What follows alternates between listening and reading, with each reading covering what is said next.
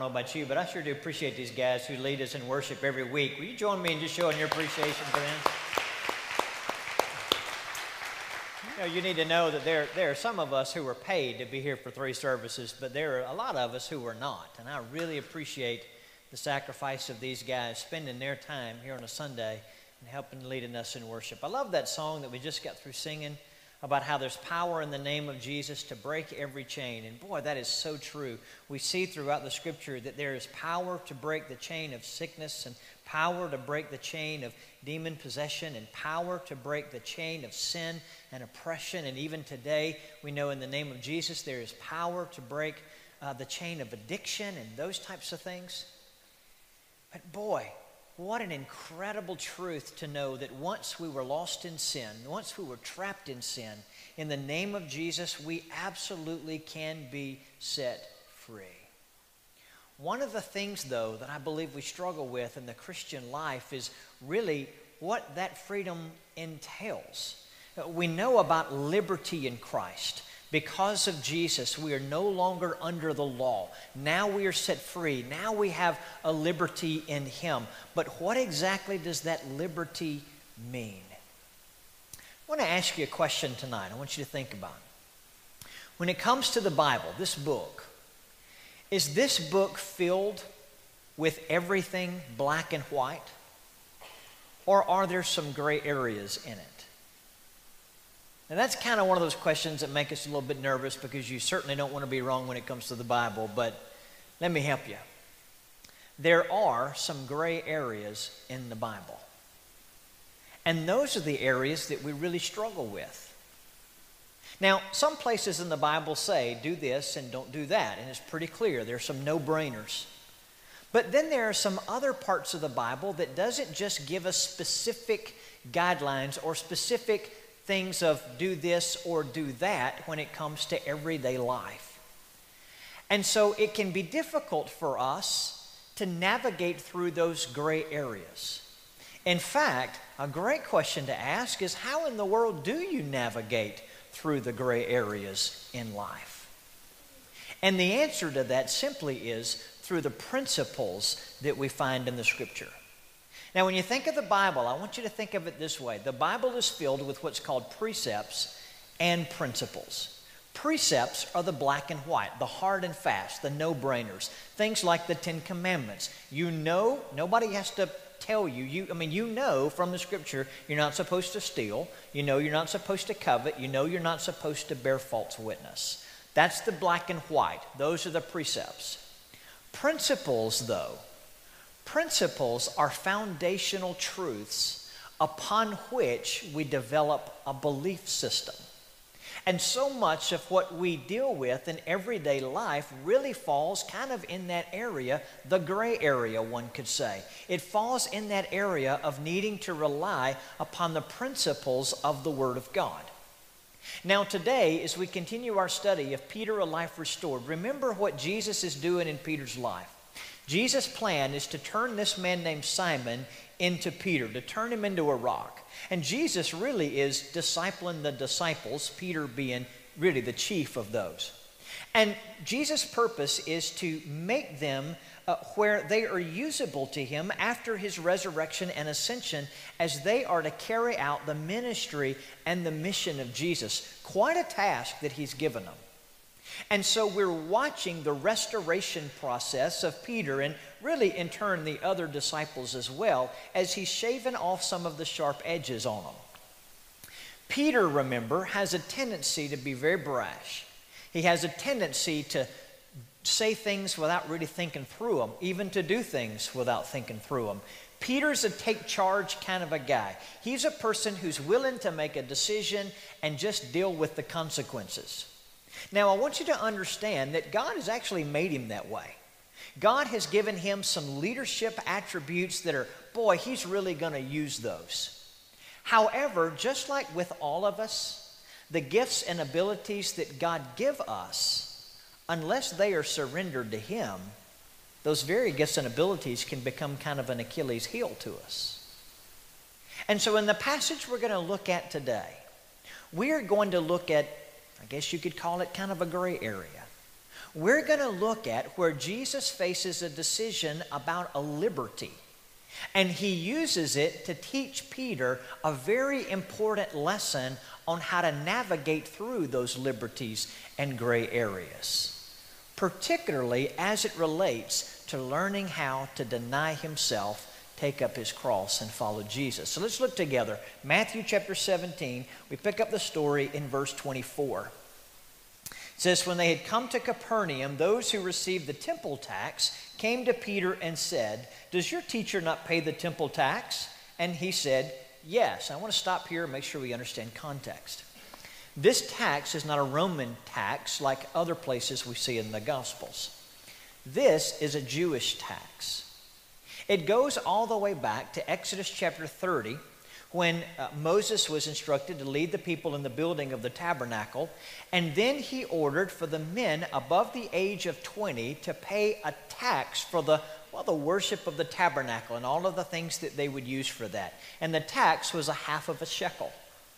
Interestingly, in Nehemiah chapter 10, as Nehemiah had come back to Jerusalem, the temple had been rebuilt, and Nehemiah was a part of rebuilding the walls he began to institute a temple tax for the things regarding the worship in the temple. However, that tax was reduced to a third of a shekel, probably because the people had been in captivity for so long and they didn't just have quite as much. But it seems that this tax is not a compulsory tax. It's not mandated. They weren't going to go to prison if they didn't pay it. However, it was one of those deals where, boy, you just ought to. It would look awfully bad for you not to pay the tax. Now, there's no question that these collectors who were asking Peter this question about whether or not Jesus pays it, there's no question that they're trying to find some reason to accuse him of something. So they come to Peter and they say, Does your teacher not pay the temple tax? And Peter answers, Yes, of course he does. Now, the hilarious thing about that to me in this verse, as we'll see in just a minute, Peter doesn't really know. He's just that kind of guy who's got to say something. He can't stand the silence in the room, or he can't stand and not know the answer to a question. So he just takes an assumption and he says, Yes, of course he does. But let's pick up the story in verse 25. It says, When he had come into the house, Jesus anticipated him. I love that. He always knows what's happening before it happens. Jesus anticipated him, saying, Well, what do you think, Simon? You notice he's not calling him Peter here. It's always a sign for us that this is a teachable moment. This is an opportunity for Jesus to shape him. What do you think, Simon? From whom do the kings of the earth take customs or taxes? From their sons or from strangers? That's a no brainer, right? Jesus uses this opportunity to teach him a lesson. What do you think, Simon? Do kings take taxes from their own children or do they take taxes from the people in the land, from the strangers? Peter answers, Of course. Verse 26 Well, from strangers. So Jesus says to him, Then the sons are free. What's he saying there?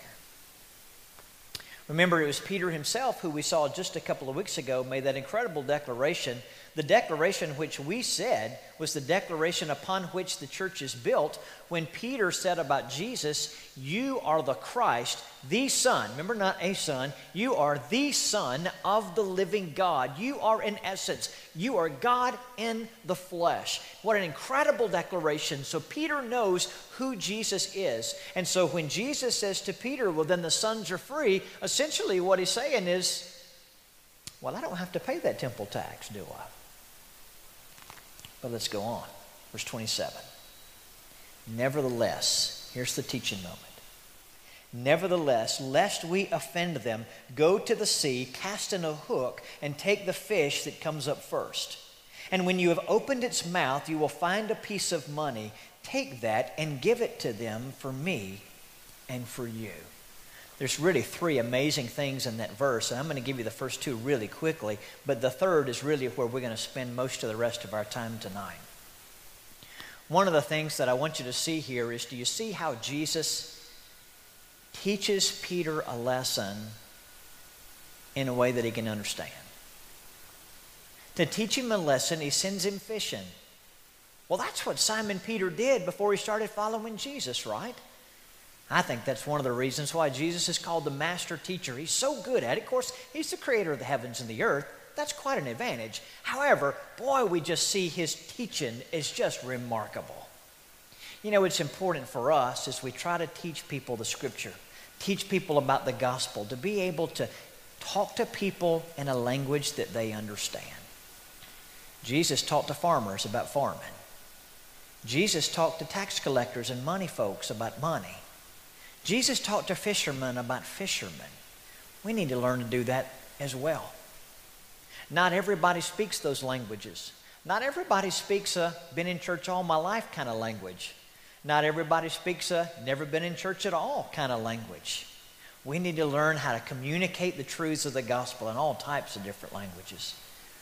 But another point that I want to make here is you know, Jesus is also teaching Peter, you do what I tell you to do, and you can count on me taking care of you. How incredible that was, right? For Peter to go drop a hook in the water and here comes a fish, and the fish hooks onto that hook, and Peter brings up that fish, and inside the mouth of that fish is a coin. By the way, the Greek translation, from the Greek to the English, that particular word is the word stater, which a stater was a coin that would be the equivalent of the temple tax for two people. He didn't just cover the temple tax for himself, Jesus covered it for Peter as well. And that's really important for Peter to remember because, you know, Jesus is going to die and he's going to be resurrected. He's going to send up to heaven. Peter and the other disciples are going to be sent out with the mission and ministry of Jesus, and they're not always going to have Jesus right beside them to take them fishing.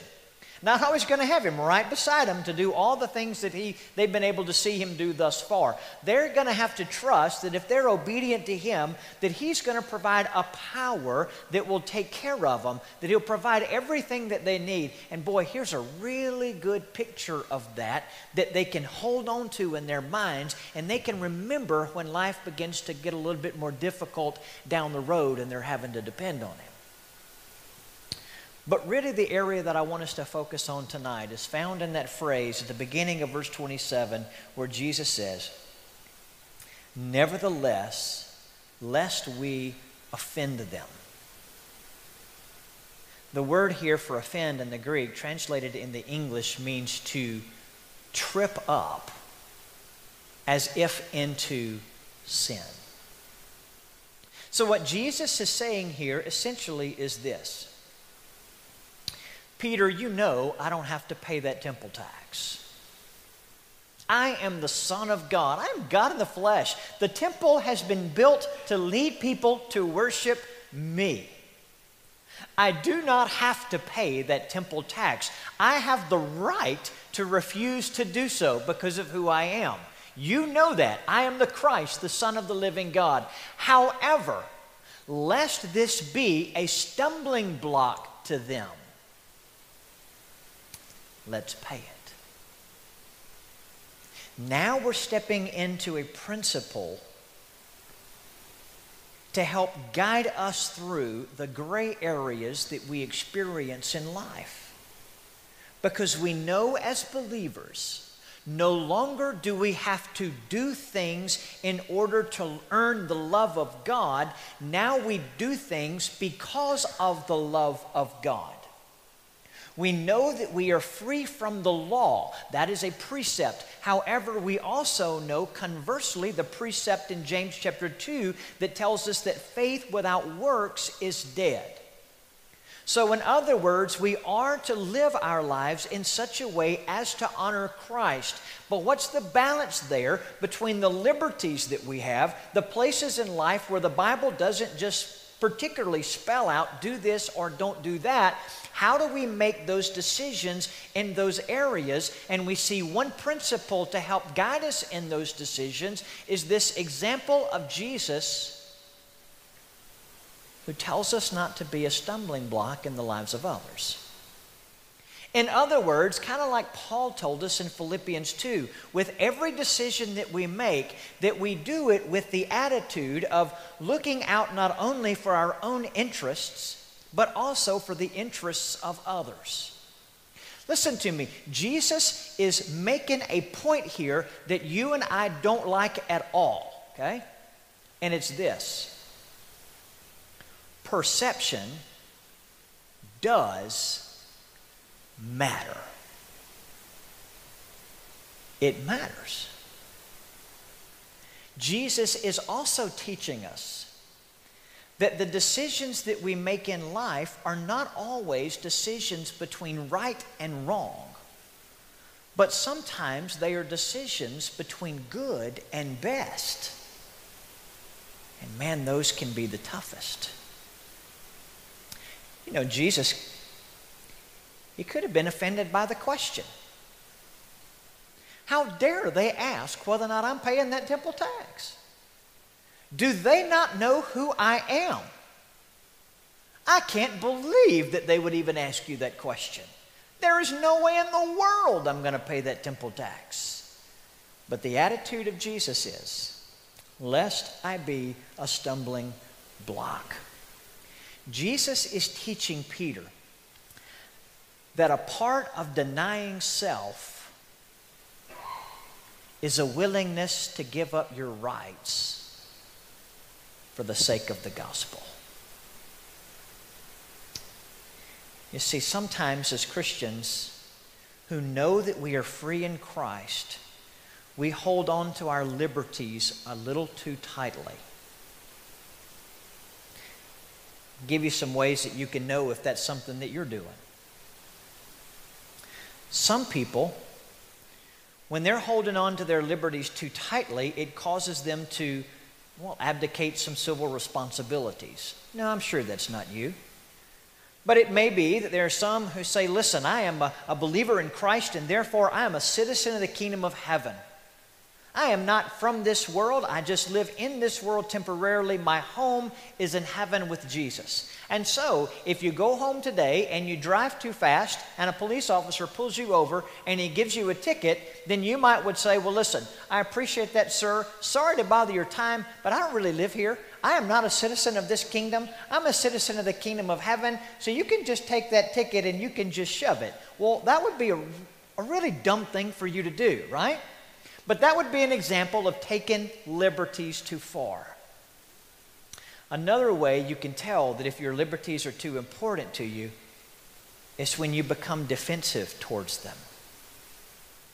When you begin to say things like, well, nobody can tell me how I live my life. Listen, I make my own decisions. If they don't like it, that's just tough. That's just a Baptist thing. That's just a Christian thing. That's just a church thing. And those kind of people make me sick. They need to worry about their own lives. They don't need to worry about mine. I can live however I want to live. I am free in Christ. I have accepted Jesus into my heart. Now, most people, when they say that, honestly, they don't really know what that means. Because to accept Jesus into your heart means that, well, Scripture talks about the heart is the center from which all decisions and emotions flow. So to accept Jesus into your heart means that you have absolutely absolutely denied yourself and taken up your cross and followed him. It means he is absolute the boss, the supreme, the ruler of your life. And most people don't really think about it that way. However, I digress. But we may say, well, listen, I've accepted Jesus into my heart, and therefore I don't have to do that. I don't have to care what you say. I don't have to, you don't tell me what to do. I can live my life however I want to live it. Well, a person who is defensive is a person who they don't really understand salvation. They don't really understand the teaching of the gospel. And they're holding onto their rights too tightly. You know, I tell my kids when you're defensive, you've lost before you ever even started. Because defensiveness is generally a sign of conviction. Another way that you can tell that maybe your rights have become too important to you. It's when you get to the point where you don't even care what people say anymore. Look at the example of Jesus. Did Jesus care? Did he care what the tax collectors believed about him paying the temple tax? You bet he did. And when we get to the point of just shutting everybody out and saying, listen, they need to mind their own business. I can't worry about what other people are saying. I'm going to live my life the way I live it. I have freedom in Christ. Then you, you, you, you've gone off the rails as it pertains to your liberties. So, what I want to show you tonight is I want us to use principles from the scripture to help us to see what a powerful thing it is when believers take the example of Jesus and are willing to give up their rights for the good of the gospel. Number one, giving up your rights promotes unity. Acts chapter 15 is a great example. Uh, Paul, the Apostle Paul, and Barnabas, this is after the resurrection and ascension of Jesus. Paul and Barnabas are going to different cities and they're sharing the gospel with Gentiles. Gentiles simply means non Jews, so people who weren't Jews. And they're seeing them come to faith in Christ at an incredible rate. And the Holy Spirit will descend upon these Gentiles and they will see life transformation happening right before them. And it was an amazing thing. In fact, it was a new thing for these guys to see this happen right there before them. However, there were some Jews, some old hat Jews that were in Jerusalem, and they just believed that a person couldn't really be a part of the kingdom of God unless they were circumcised. So after Paul and Barnabas would come through these cities and see these people celebrate life transformation in Jesus, these Jewish guys would come in from Jerusalem and they would come to these new believers and they'd say, Listen, no disrespect to Paul and Barnabas, great guys. I know they mean a lot to you, but one thing they didn't tell you, you can't really be a part of the kingdom of God unless you've been circumcised. Well, Paul and Barnabas found out about that. They didn't take to that too kindly. There was a lot of dissension among them. So they decided to gather together all of the apostles and the elders of the church in Jerusalem for what is now called the Council at Jerusalem. It's recorded in Acts chapter 15. And when they gathered together, our man Peter, who at this time is a rock, he's a leader in the church. Our man Peter stands up at the Council of Jerusalem and he says, Listen, fellas, I've seen this for myself. I have seen Gentiles come to faith in Christ and the Holy Spirit come upon them and they not be circumcised. And they're just as saved as the rest of us. And then Paul and Barnabas stand up and they begin to share their story as well. And then James, who's the leader of the church in Jerusalem, he says, Well, listen, let's settle this issue here once and for all. What they're saying jives with what the Old Testament has told us. So now we can see we have the scripture and we have evidence, eyewitness evidence, that Gentiles can come to faith in Christ without being circumcised. Let's send them a letter and let's encourage them in their faith and let's let them know we don't expect them to be circumcised, but let's add something to the letter. Let's ask them to stay away from food that's been sacrificed to idols, from sexual immorality, and from things that have been strangled with blood. Now, the sexual immorality issue, that's a black and white one, right? That's a precept. However, remember, these Gentiles were coming from pagan backgrounds. Well, that was a part of their worship, so they needed to be reminded of that one. But regarding the meat that had been sacrificed to idols, that was a gray area. That was a liberty. And James is saying to those Gentiles, listen, we're not going to make you be circumcised. We totally get that. But we want to ask you to do this for us. Don't eat that meat that's been sacrificed to idols. Why? Because that would have been a stumbling block to the believing Jews in Jerusalem. You see, giving up their rights promoted the unity of the church. In our deacon retreat a couple of weeks ago, we showed a video of Timothy Keller preaching a message on theological marks of revival. And in that message, he talked about how when the church begins to experience revival, something incredibly powerful happens. And it causes the church to be beautified in the eyes of the community. And what he means by that is the community begins to see that the church is incredibly different than the rest of the world. And it is supremely attractive to the community when they realize the church has something that they don't have.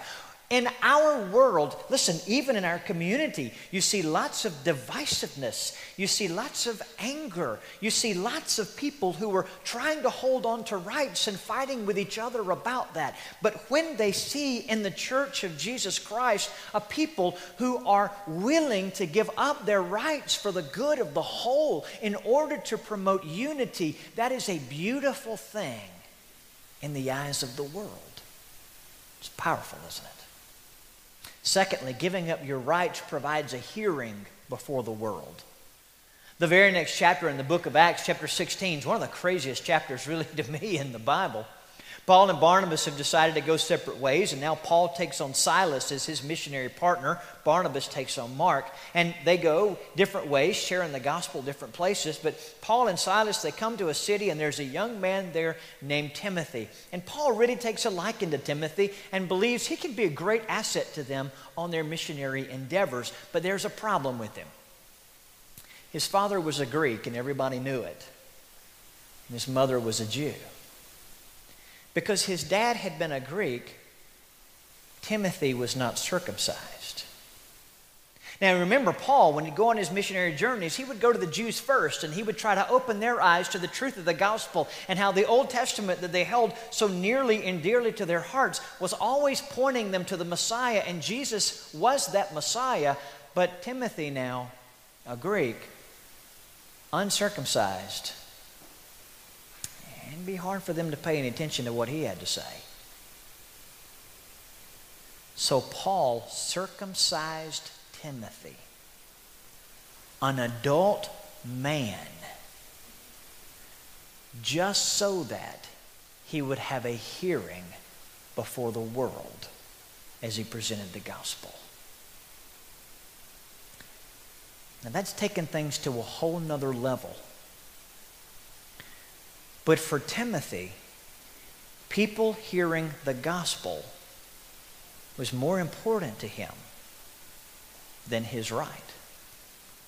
Remember, it was just the chapter before where they made the decision that you don't have to be circumcised. Timothy could have said, Whoa, man, no, sir, not a chance. No way you're doing that to me. But again, the gospel was more important to him than his rights and he was circumcised. Now, if you're like me, here we are at point two, and you're already beginning kind of in your mind going, now, hang on a second, Chip, because I can't live my life just bowing to the whims of whomever. There's always going to be somebody who's going to say something, and how in the world do you know whether you're just trying to please people or you're really trying to please God? Because it just can't change all the time. And anticipating you'd have that question, I've got a couple of verses for you from 1 Corinthians 10. Look what Paul writes Give no offense either to the Jews or to the Greeks or to the church of God, just as I also please all men in all things, not seeking my own profit, but the profit of many, that they may be saved. If you're catering to the whims of people because you're trying to earn friends, well, that's not what the scripture is talking about. But if you're willing to give up your rights for the sake of not being a stumbling block, for the sake of the gospel, for the sake of having a hearing before people, for the sake of unity and the other things we're going to talk about in a moment, then that is what honors the Lord. So, motive has everything to do with the decisions that you make. But let's move forward. Giving up your rights also promotes the growth of weaker believers. You do remember, right? When you become a Christian, you become an us, not a me anymore, right? And particularly when you join a church, then we believe what the, Paul says in 1 Corinthians 12 that God places the members in the body just as he desires, and he's put every member in the body for the profit of all. You are no longer a me or an I, now you are an us. That's why Jesus teaches us in the model prayer, Our Father, not my Father, but our Father who art in heaven, because we're an us now. Well, Paul addressed an issue in 1 Corinthians 8 actually about meat that was sacrificed to idols. And the issue was that after that meat had been sacrificed to pagan idols, what was left over was sold in the marketplaces. Some of the weaker believers in Corinth, coming from those pagan backgrounds, when they would see that meat in the marketplace, oh man, that was abhorrent to them because it reminded them of the life that they used to live. Very similar, maybe, to how an alcoholic would view a bar or alcohol because it was just a bad reminder of old decisions. But the more mature believers realized that they were free in Christ, that salvation wasn't about what you put in your body. Righteousness and holiness and those things, that's a, well, it, described more by what comes out of your body than what goes in it. So for them, that was the most ridiculous thing in the world. When they would go to the marketplaces to get meat, they weren't concerned what God that meat had been sacrificed to. They just wanted hamburger. That's all they wanted. And so they would kind of begin to be argumentative about it and say, well, that's absolutely ridiculous. Those people just need to grow up. I mean, salvation's got nothing to do with what you eat. That is just crazy, and I can't worry about that. All of chapter 8 is Paul's going, wait a second, don't you remember we're a we?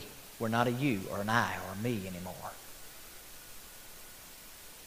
Paul actually kind of wraps up chapter 8 and he gives this incredible verse where he says, You know what? If what I eat is a stumbling block to men, I will never again eat meat. Give up your rights to promote the growth of weaker believers. Next, giving up your rights glorifies Christ. You see, when we're willing to give up our rights to not be a stumbling block, Man, that is showing what the world, the world who Jesus is. Again, let's go back to Philippians 2, where Paul writes, Look out not only for your own interests, but also for the interests of others. And then he goes on to say, Let this mind be in you, which was also in Christ Jesus, who, although he existed in the form of God, meaning that he was God in essence, did not regard equality with God a thing to be grasped but emptied himself and took on the form of a bondservant and was made in the likeness of men. So Paul is telling us that Jesus' whole life is built around giving up his rights for the sake of the gospel. That's who Jesus is. And that's what his whole ministry is built on.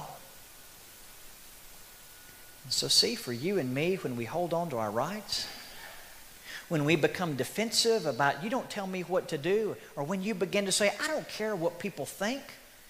And when we begin to be argumentative about our liberties and our rights, and those things become more important to us than the gospel, listen, not only do we see from the teaching of Jesus that we've gotten off the rails with our rights, but it also shows a deficiency in our understanding even of who Jesus is.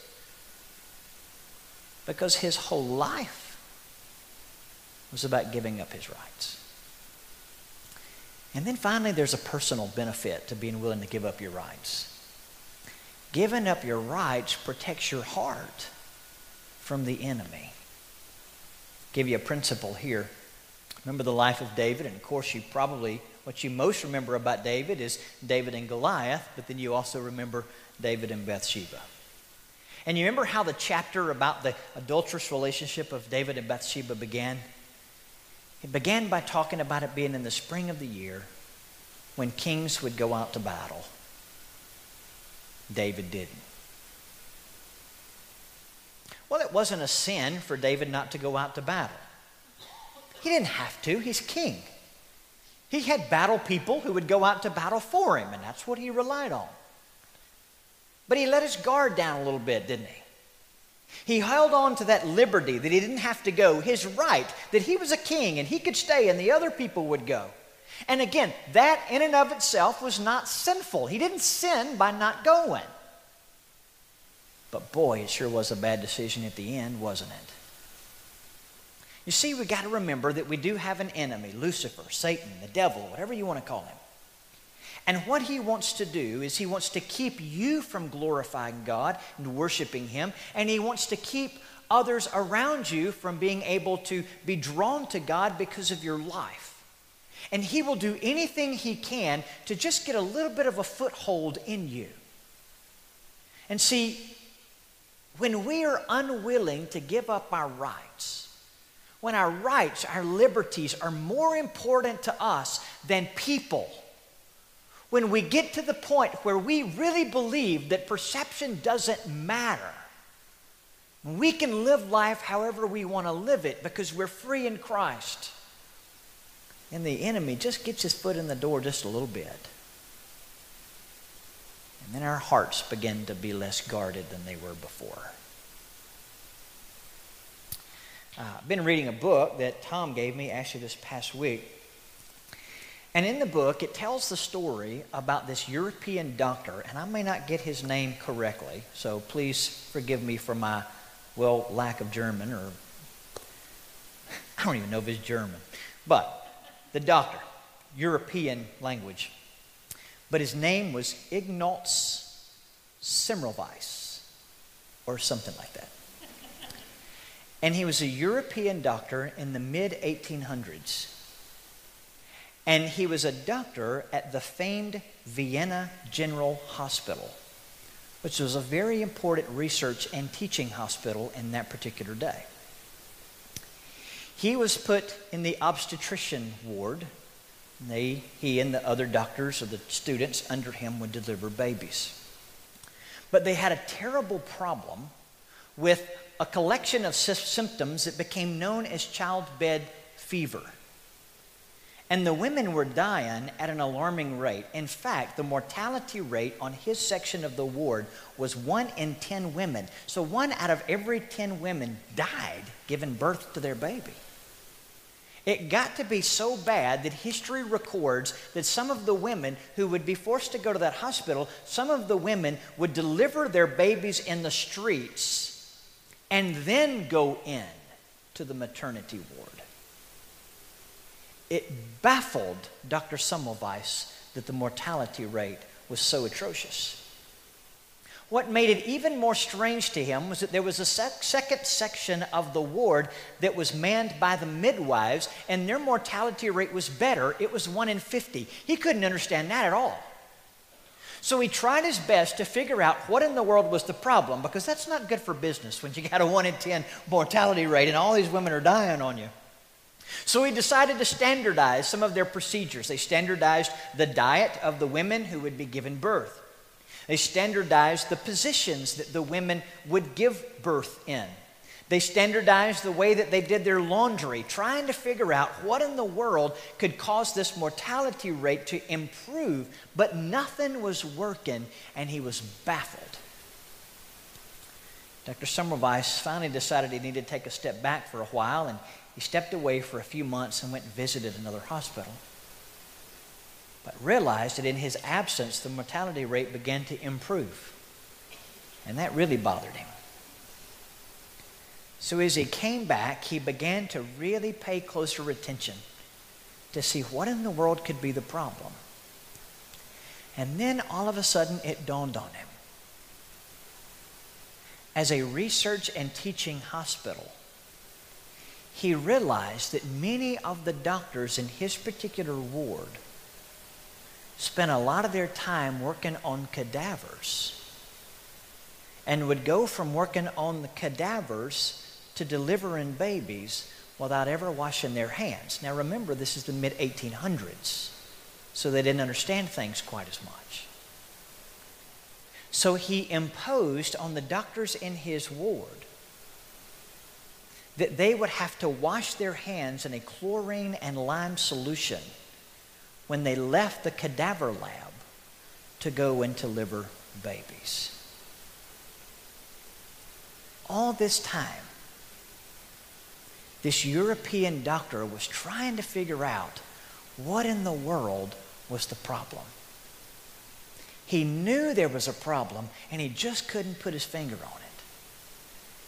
And then it finally dawned on him the whole time he was the problem. I want us to take a step back for a minute as we close. We live in a world that is incredibly broken, don't we? We have family members, and we have friends, and we have neighbors whose lives are absolutely broken. And sometimes we don't know what in the world has caused things to be the way they are. What if we took a step back and asked ourselves the question could it be that I'm the problem? If you've asked anybody to come with you to church in a while, or if you've tried to share your faith with someone in a while, I'd be willing to bet that the number one statement of resistance that you get is, I don't know. I've been around church before and I don't know, church just always seems to be filled with a bunch of hypocrites. Could it be that our liberties have become more important than the gospel? Perception does matter. Boy, this is a lesson Peter needed to learn. Peter, with that take charge personality, with that type of personality that's willing to make a decision and let the consequences fall where they may. The guy who is willing to say something when nobody else wanted to say anything and do something when nobody else was willing to do anything. I mean, the boy was born to be a leader. But man, if his life wasn't surrendered to God, he was sure going to get himself into a whole lot of trouble and do more harm to the gospel than help. Peter needed to learn, and so do we, how to navigate those gray areas, how to make decisions in those areas in life where the Bible doesn't just come out and say, do this and don't do that. And at the end of the day, what we see from Jesus whose life, again, by the way, was all about giving up his rights for the sake of the gospel. What we need to learn is that sometimes we need to be willing to give up things that aren't even sin.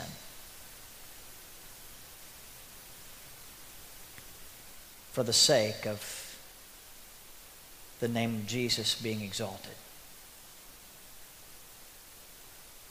Because sometimes we can be the problem. And we don't want that to be the case. May nothing in our lives ever be more important than the gospel of Jesus Christ and seeing people come to him. Let's pray.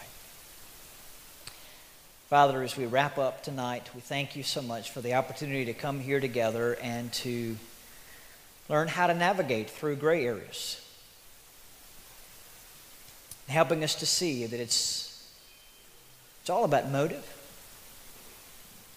It's all about learning to deny self. And Father, thank you for showing us tonight that denying self is bigger than just leaving a fishing job. It's bigger than just leaving hopes and dreams, it's bigger than leaving our life plans and goals. The denying self sometimes means the willingness to give up things that in and of themselves aren't wrong. Denying self is a willingness to give up our liberties, a willingness to give up our rights for the sake of the gospel. Help us, O oh Lord to learn how to live our lives on a daily basis in a way that points people to you, in a way that beautifies the church, in a way that is attractive to a broken world. For it's in your name we pray.